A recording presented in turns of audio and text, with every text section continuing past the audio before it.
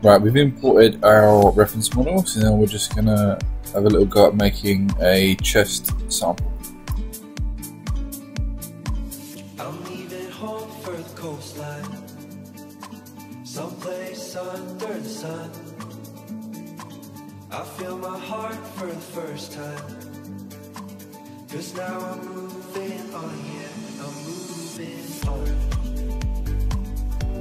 Okay, once you've made the model and you've uh, UV mapped it and you've created the textures for the UV maps, you can't just assign materials and export those. You have to create UV maps and create custom textures for the model. Then you import them into the software like 3ds, Blender, or Maya, which I'm using now, and assign the materials to the textures. They have to be Targa, T-A-G-A files. They can't be PNG or JPEG files. They have to be Targa, otherwise the model won't read properly.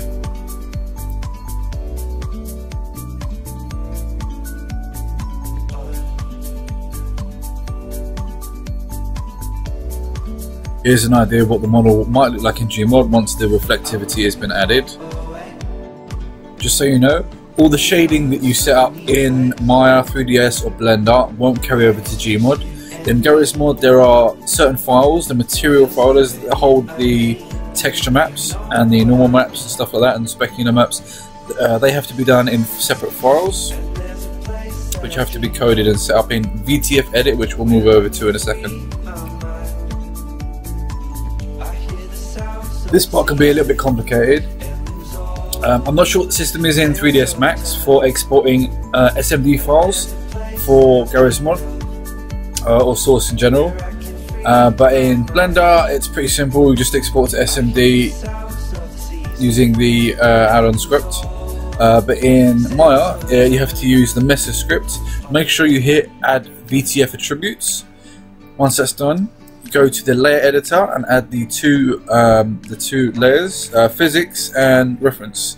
Uh, right now we don't need a physics model and that seems to be a little bit buggy so I just build a reference model assign the model I want to be ex exported as the main model as reference and then export it to the folder I want to compile in.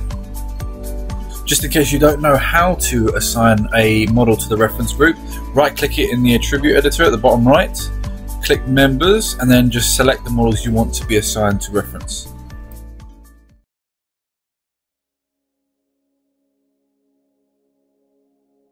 Right, next we're going to set up a little folder where we can compile everything, put everything together. First of all, we need to put in a, uh, the SMD files we exported. We should have two. We should have the model S, uh, SMD and we should have the idle SMD, which holds the idle animation for the model itself. Uh, next, we need to set up a QC file that will allow uh, us to use Crowbar or GMUID compiler, I think it's called, I can't remember, but I usually use Crowbar. And we need to code the uh, QC file uh, to compile the model itself. Uh, just in case you need any help with the QC file, you can have a look on the um, the development website for the uh, wiki on source, and Q, just type in in Google uh, QC commands, Gmod, etc., and it will give you all the commands. But I will put an example or a few examples in the description of the video for you.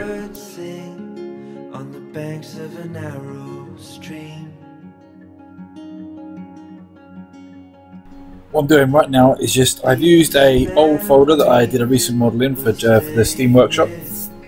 I've just copied the folder, renamed it, and I'm just deleting all of the uh, original files from that other that previous model, and I'm renaming everything uh, according to this new model, what I want the paths to be, and and so on.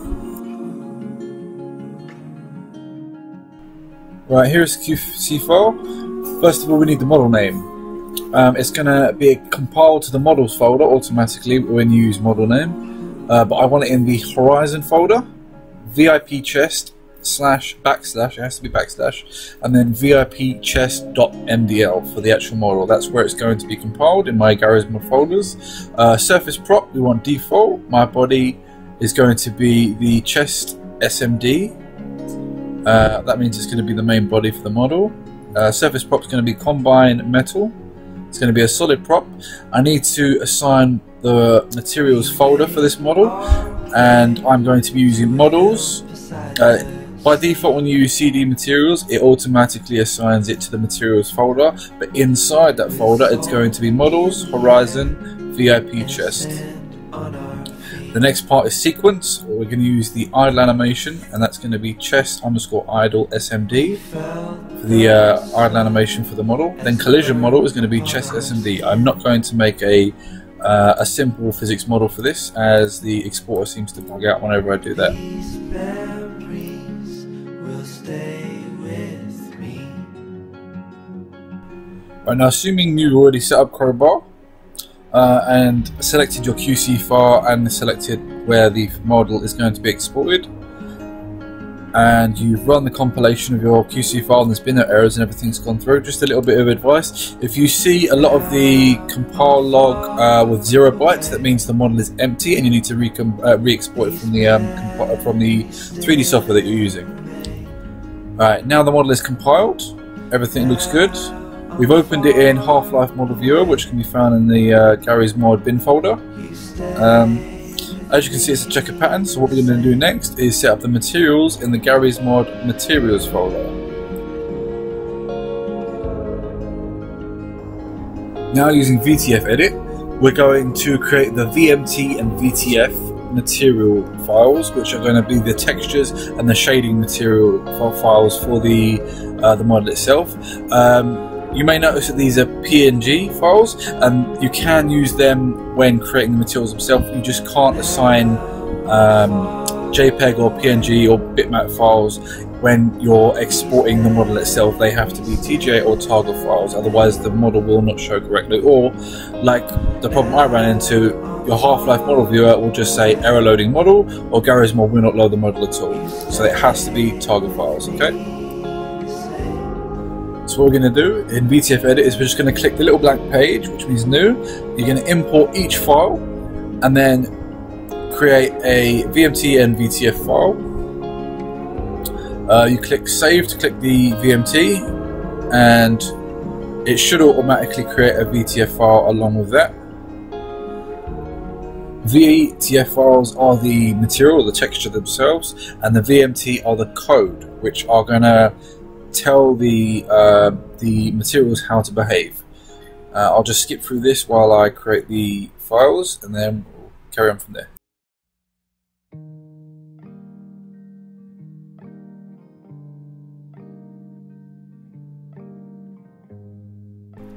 Here's an issue you might run into, just to give you a little bit of information. When making materials, there are types like vertex, uh, lit generic, and some others, uh, light map generic, unlit generic, and they're all for different types of materials, different types of behaviors when when interacting with light.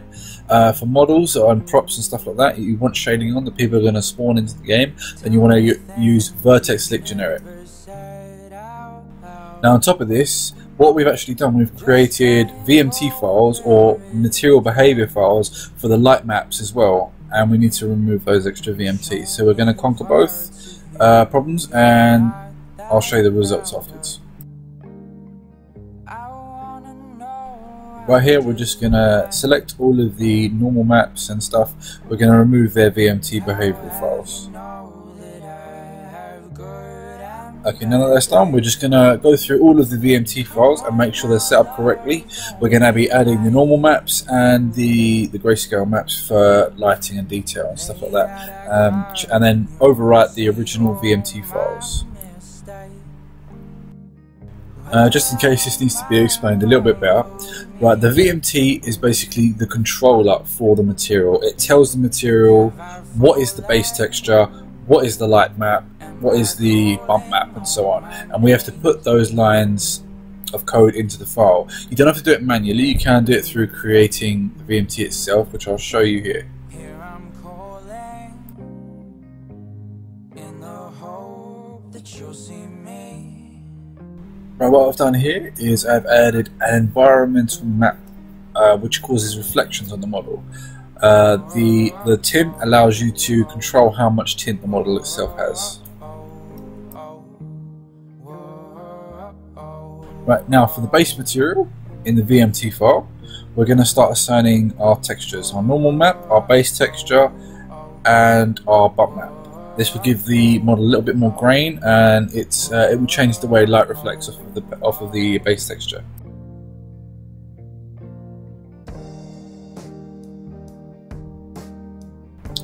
It can take a little bit of uh, trial and error to get the model looking exactly how you want, so just keep practicing.